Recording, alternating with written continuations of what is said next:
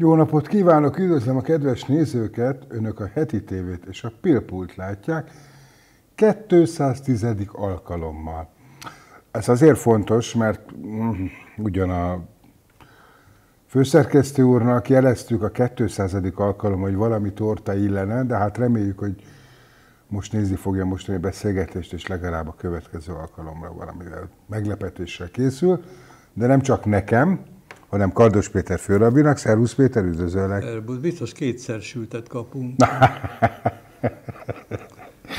nem kéne ropogtatni valami kis puha csoki tortába, engem ki lehet fizetni ezzel. És ez a legmelegebb pilpulunk, mióta ide járunk. Igen. Most nehogy belemenj a nem, nem, parlament nem, új törvény nem, témájába. Esze vágába sincsen. Ez egy, megint ugye jön az, hogy különleges heti szakasz.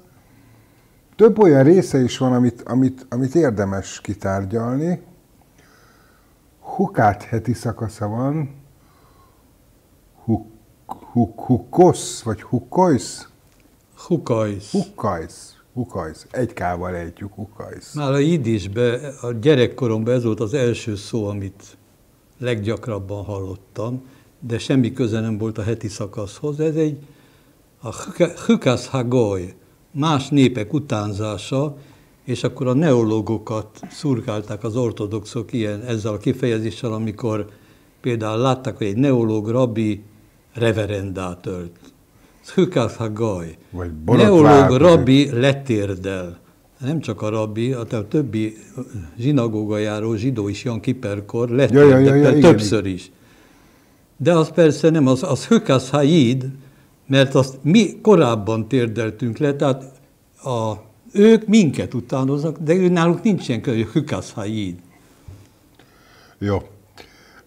Van három olyan pont a mostani heti szakaszban, ami nem időrendi sorrendben, de mégis szerintem megtárgyalásra érdemes. Kezdjük mondjuk egy ilyen kvázi babonával, részkígyó. Ami alatt ugye, ha átsétálnak a, a, a zsidó emberek, felnéznek a részkígyóra, akkor, akkor azért megme, nem halnak meg, megmenekülnek, meggyógyulnak. Ez nem babona. Mózes készíti el ezt a bizonyos részkígyót, ami már ezt minden alkalommal elmondjuk, átment a patikák gyógyszergyár, de gyógyszertáraknak a cég táblájára. Héten hallottam egy nagyon szellemes orvostól egy magyarázatot, hogy azért kígyó, mert hogy az kigyógyítja a betegeket. Azt leborult Na, vissza Igen? Tórához. Tehát egy olyan magyarázat is van, hogy Mózes emelje fel ezt a részkígyót egy rúdon, és akkor aki ránéz, és mondjuk kígyómarást volt része korábban, meggyógyul. És egy vita van, hogy miért emelje föl? Azért, hogy az emberek, a beteg az égre nézzen, és ezzel rámutat arra, hogy Istentől várja a gyógyulást. Ez az egyik elfogadható magyarázat, minden esetre a fölteszik a kérdés, hát most miért kell ehhez kígyó? Hát beteg vagy, vesd a tekinteted az égre, és Istentől gyógyulsz meg. Ez így is van, de Istennek szüksége volt egy úgymond egy közvetítőre, ami látható, ez lett volna ez a kígyó. Na de kérdezem én, bocsánat, hogy félbeszakítalak, hogy akkor ebben a heti szakaszban ez a részkígyó egy pozitív szerepet tölt be, hiszen fölnézek rá, Igen. és általa az ő közvetítésével az örökkévalóra meggyógyulok. Miközben a kígyó egyáltalán nem egy pozitív szereplő. Volt eddig. Volt eddig, sőt, fölnézek a kígyóra, mondom, mondjuk ugye most, hogy föl kell ránézni, de a kígyónak az volt többek között, a bűnnek is volt büntetés. Az első ember párnak is megvolt a maga büntetése, de a kígyónak meg az volt a büntetése, hogy ő innentől kezdve a porban közlekedik, úgymond, már bocsánat. Lábatlanul. Lábatlanul csúszómászó. Igen, csak hogy az nem részből volt sajnos, az a kígyó, az egy igazi kígyó volt, ez nem igazi kígyó, és az a hit, hogy attól meggyógyul, hogy fölnéz az égre, ugye az akkori felfogás szerint Isten lakhelye felé néz, meggyógyul. A gyógyszerek szerepe is, ma már tudjuk, hogy a hiten is alapul, már ezerszer mondtuk, hogy a placebóról azt hiszi, hogy és akkor meggyógyult tőle. Tehát a gyógyszernél is Isten szükséges ahhoz, hogy hasson a gyógyszer, meggyógyuljunk. Értettem. Ugye mondtad azt, a, a, hogy a gyógyszertárak kirakatába, portájára fölkerült a kígyó. Egyébként ezt lehet tudni, vagy tudsz -e arról, hogy mondjuk hány patikus gyógyszerész volt zsidó a háború előtti időszakban? Hát szám szerint biztos nem tudom, mert annyi kapcsolatom volt, és van a gyógyszerészek, hogy bemegyek a vényel, és jó, nem most azelőtt, a 45 előtti időszakban. Azelőtt az orvosot a felhőből hozzák le, úgyhogy én nekem megáll a technikai tudásom. Mi az, hogy úgy mondják, hogy a felhőben van. Na most Igen. fölnézek az égre, és nincs felhő, és nem az ég, semmit. kész. Ennyit a technikai. Szegény anyukámnak se tudom ezt elmagyarázni, aki mindig mondja, hogy, hogy el kell menni a, a körorvoshoz, illetve bocsánat, a házi orvoshoz, majd, és hogy receptet kell kérni. És mondom, és meg, nem kell. Felhőbe fölrakják. És ő ott ül szegénykém, és ha most már nagy nehezen megérti. Lesi az időjárás jelentés. Nagy nehezen megérti, miután én intézem neki a gyógyszervásárlást, tehát ezek után neki nem kell foglalkozni, hogy el kell menni a patikába, de ezért kellett neki egy fél évig megértette ezt a felhős dolgot. Ja. Bocsánat. Azt szeretném megtudni, hogy hát arra szeretnélek kérni, inkább így fogalmazok, szenteljünk egy nagyobb részt a vörös tehénnek. Mert ha van része ennek a heti szakasznak, ami nekem olyan, mint a... Vörös tehén. Ah, igen, mint a vörös tehén, igen. Hogy nem értem, nem értem, nem értem, és főleg annak a fényében nem értem, hogy ugye azt olvastam évekkel ezelőtt, pár évvel ezelőtt, egy-két évvel ezelőtt, hogy mintha már megtalálták volna azt a klasszikus vöröstenet Izraelben. Igen. Ez a bizonyos Póroa Dumó, ami nem is egyszer, többször szerepel a felolvasandó heti szakaszban, ezt úgy tartják, hogy ez egy megmagyarázhatatlan valami, hát ami vele vagy tisztátalanná válik, de ugyanannak a porával tisztává válik, stb. Ez kevés érint bennünket, az viszont igen, hogy egy Jesája Horovic nevű magyarázó rabbi azt mondja, hogy aki felismeri azt, hogy nem érti ezt a porrát, az egy bölcs ember. Aha, akkor veregetem a vállam. Tudnék azért, mert ez az Isten tökéletességét nem tudjuk felmérni. Tehát nem tudjuk Istent a maga teljességében megismerni, ez sem, ez is ahhoz tartozik, mert tökéletes az csak Isten lehet, ember nem. Hogyha egy valaki magát tökéletesnek tartja, az nem vett a Málchus Somáim, az isteni igát a nyakába vagy a vállára, tehát nem, nincs alkalma tökéletesnek lenni. Egy kicsit akkor bővebben segítsünk a nézőknek e, e, ezzel a vörös tejhénnel kapcsolatban, hogy ő micsoda, kicsoda, hogy kerül ide? Hát egy parancsot kap, egy olyan vörös tejet, ami hibátlan, amelyen még nem volt iga, amely uh, alkalmas arra, hogy majd elégessék, és a porával hát tisztává tegye azt, aki a vele való foglalatoskodás közben tisztátalan lett, most rituális tisztaságról Természetesen. Szó, és tisztátalanságról. Na most, a, amit az előbb mondtam, hogy az, az egy bölcsem, aki nem érti, de azért magyarázat nincs rá, hogy, hogy miért tehén miért? és miért vörös. Uh-huh. eltettem.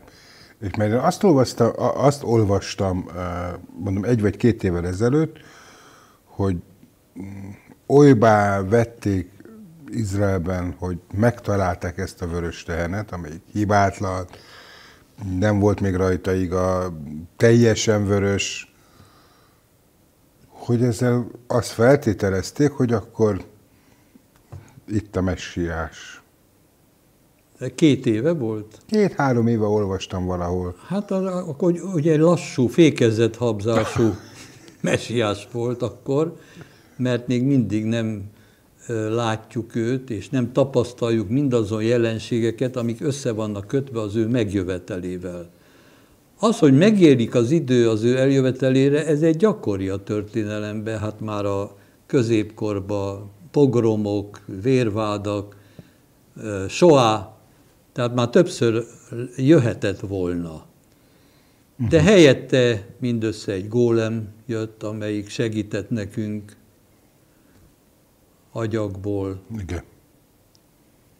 Legendaszerűen, tehát nincs neki nyoma tulajdonképpen a szentiratok között, de legendának jó volt, Prágának is jó volt, mert az idegenforgalom. Ma is jó, illetve ha majd megint lesz idegenforgalom, akkor tökéletes lesz. Növeli, mert a, fölviszik a külföldieket a padlásra, és ott egy halom porra rámutatnak, hogy na ez az a gólem, ez volt az, aki egész héten segített a gettóban a zsidóknak, vizet hordott, mert Isten nevét a nyelve alá tették, ám de egy pénteken este, Sábez beköszöntekor elfelejtették kivenni. Ezt rossz néven vette, milyen finom vagyok, tehát rossz néven hm. vette, és rombolni kezdett. Igen.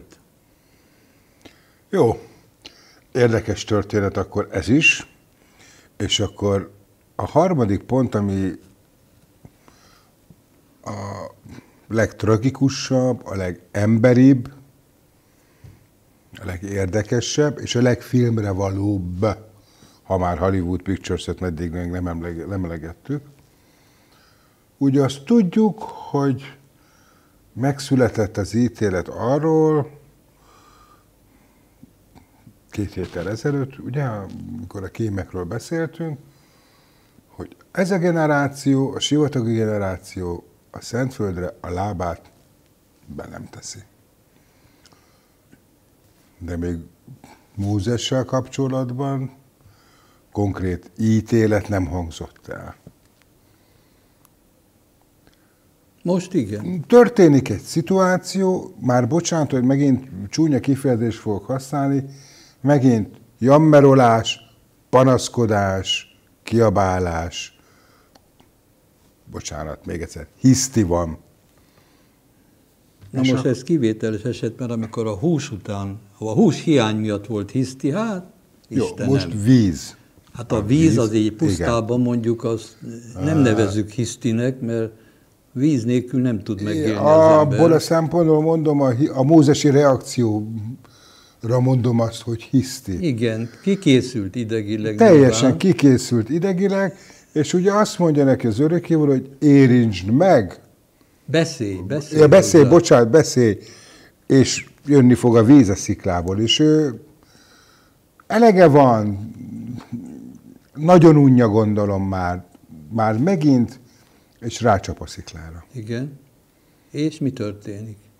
Most jön a büntetés. Nem, rácsap a sziklára, és mi jön a sziklából? Mi jön a sziklából? Víz. Így igaz. Mert hogy vízzel kellett hozzá. Na most a, ö, így is jött víz, hogy megszegte Isten parancsát, meg úgy is jött víz, tudni, nem neki kellett Pont, itt a víz, hanem a népnek. Ezt akartam mondani, hogy oké, okay, oké, okay, de attól, hogy ő hibát követett el, erről majd beszélünk egy kicsit később, hogy mennyire követett el hibát, attól még a népnek víz kellett. Hát persze, víznek... nem maradhat víz nélkül, de hogy mondjam,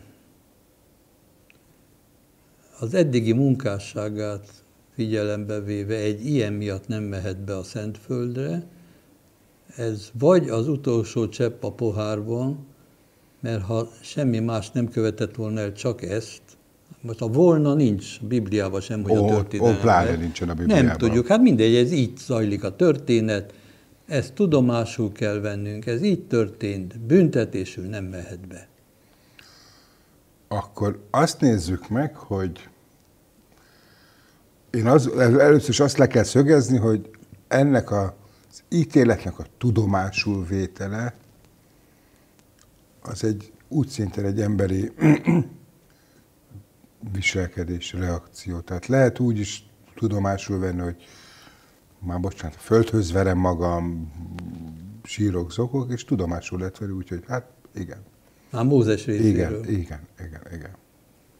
Hát az, hogy tudomásul veszi, az, az túl enyhie dolog, mert azért kér, könyörög. De hogy mondjam, nem azt csináltam, nem a földhöz verem magam, Nem. és. Valóban meg kell próbálnia. Na most hibázott-e? Mennyire nem tudjuk beleképzelni magunkat az ő helyzetébe, mert mi nem vagyunk mózesek, Hát egy hibát mindenképpen elkövetett, most nem az, hogy rácsapott, hanem az, hogy nem bízott Istenbe. ezt akartam hallani már megint. Te is mondtad akkor, hogy a 15. percben mondjam azt, hogy nem bízott Na. Istenbe, és a főpróba sikerült. Tehát nem bízott Istenben. Na most ezt egy, most finom, Mózes nem engedheti meg magának, hogy ne bízzon Istenbe, hiszen Isten feladatok, fel, feladatokat hajtott végre egész életébe szinte, úgyhogy nem bízott. Egy ilyen szituáció, Egyébként vezet- visszakapcsolva, amíg az egyiptomi, ami nem aktuális, Egyiptomból való kivonulásnál elérnek a tengerhez, és akkor csapjon rá bottal, és ketté válik a tenger. Most megjön a volna, de hát miért ne beszélgetésbe elfér? Ha az egyiptomiak nem üldözték volna, nem lettek volna ott a hátukba, lehet, hogy nem mennek át a tengeren. Mert nem bíztak majd. Mi az, hogy csapjak rá a vízre, és ketté Igen, nyílik? igen. Lehet, hogy az lett volna. manapság mondjuk 2021-et írunk, 5781-et írunk, fogalmazunk akkor így.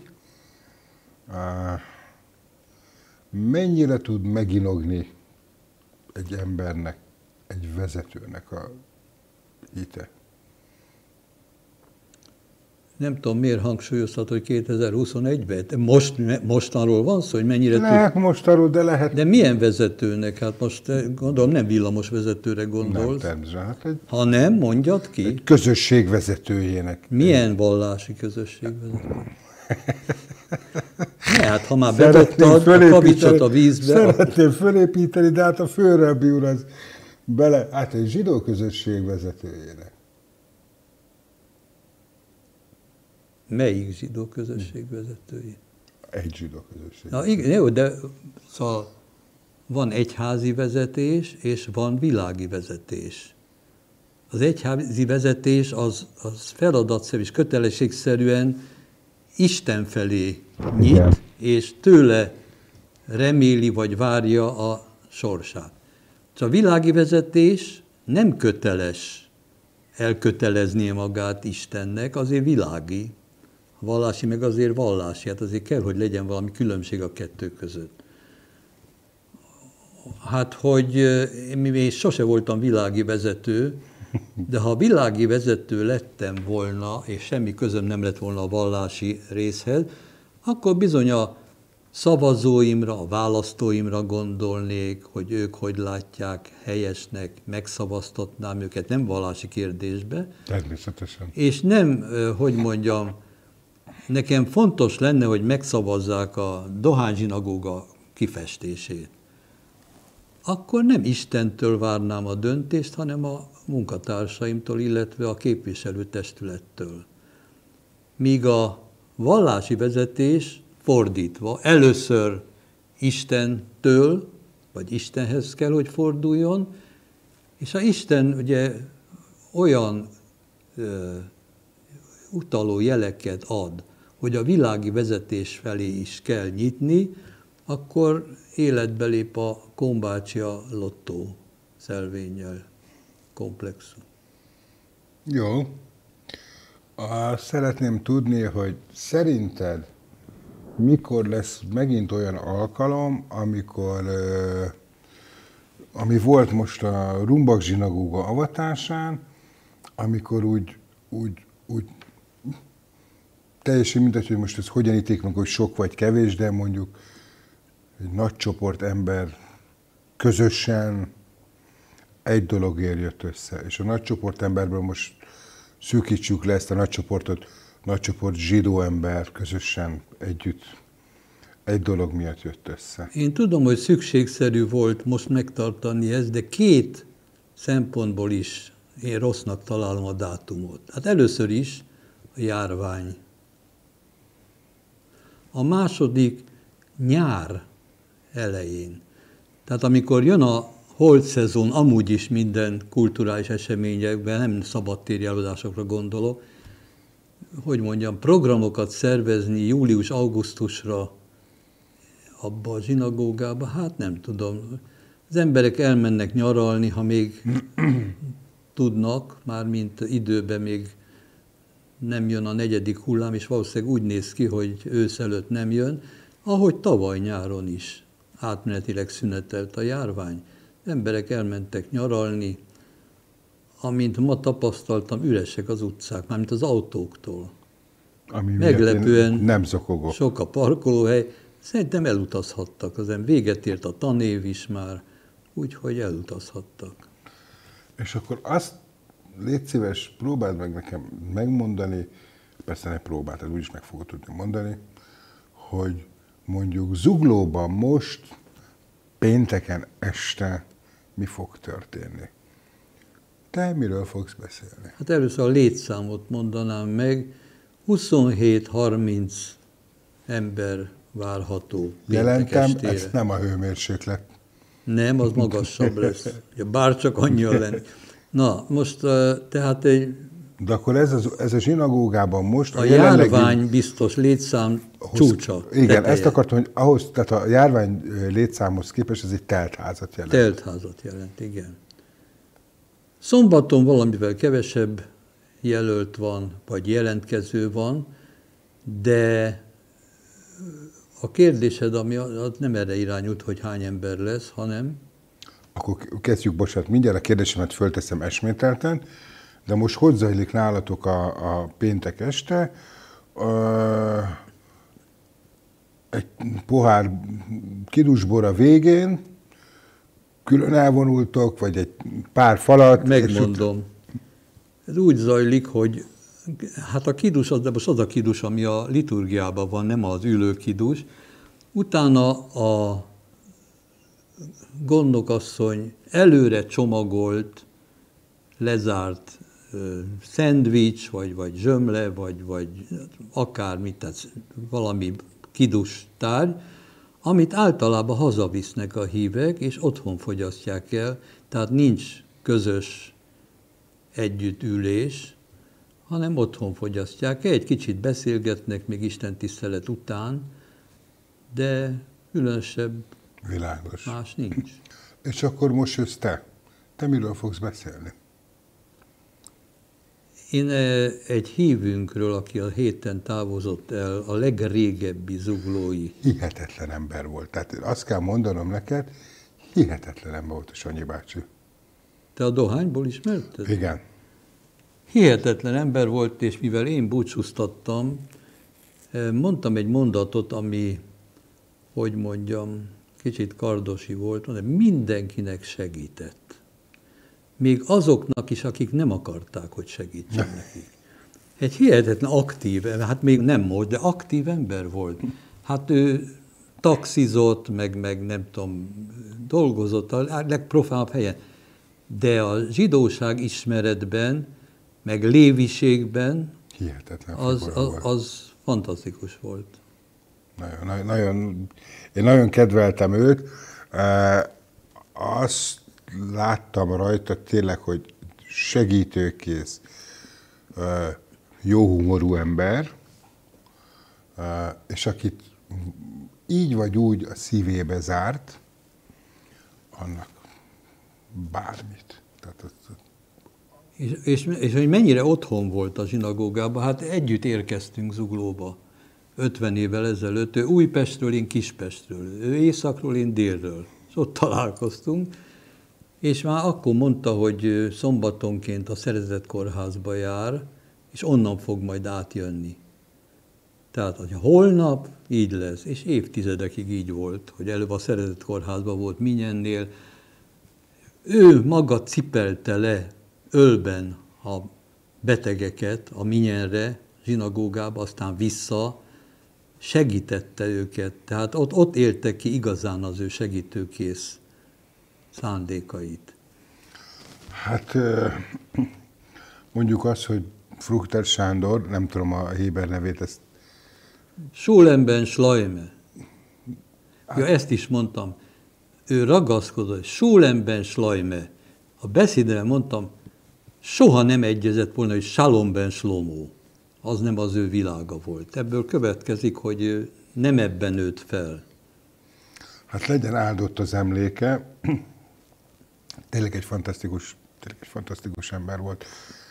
És végezetül azt szeretném megtudni, hogy nyáron fogsz-e a Mazsihisz videóban szerepelni, vagy már volt olyan, amiben szerepel, egyet már láttunk, de hogy csináltak azóta új felvételt, és ez ha igen, akkor mikor kerül adásba? Amire te gondolsz, az egy darab Egy, van, azt mondom, egyet de az láttam. még nem volt. De hogy is, láttam. A tíz parancsolatost azt már láttam. Ne, nem a tíz parancsolat Abba volt, láttalak. hanem a heti szakasz. Van egy heti szakasz és egy Shema Israel. Uh-huh. Akkor az egy már, ez egyik az Zsikipédia, abban nem vagyok. A Wikipédiában nem vagy benne? Nem. Nem a saját akaratomból. Most ne bolygassuk a. Siputca belső világban. Fölemeltem a kezem, igen. Igen, hanem ez a Mazsihiznek egy másik projektje, tehát egy Shema Israel és egy heti szakasz magyarázat. Ez Matajc Masszékor lesz, már most már néhány hét Most van már csak tudom, addig, három, egy vagy három- két hét. Ne, nem. Július eleje, június vége. A Pinház után van, azt hiszem, de nem vagyok Az után, igen, majd a... Igen, igen, igen. Azért vagyok ilyen nagyon okos, mert a, a Pinhászról majd nekem kell valami okosat írnom. Ha, ha, ha tudok valami okosat írni majd. Radikális ember volt. Így is lehet mondani, igen. Hát, hát hogy? Hát, De majd, amikor eljutunk oda, akkor majd erről Igen. beszélgetni fogunk, addig meg azt tudjuk javasolni a kedves nézőknek, hogy olvassák el ezt a mostani heti szakaszt mindenféleképpen. És az általunk felvetett dolgokra reagáljanak, gondolkodjanak el rajta érdemes. Köszönjük szépen, hogy minket választottak, köszönöm szépen, hogy itt voltál. Sabat shalom, good Shabbos. Sabat shalom. Sabat shalom.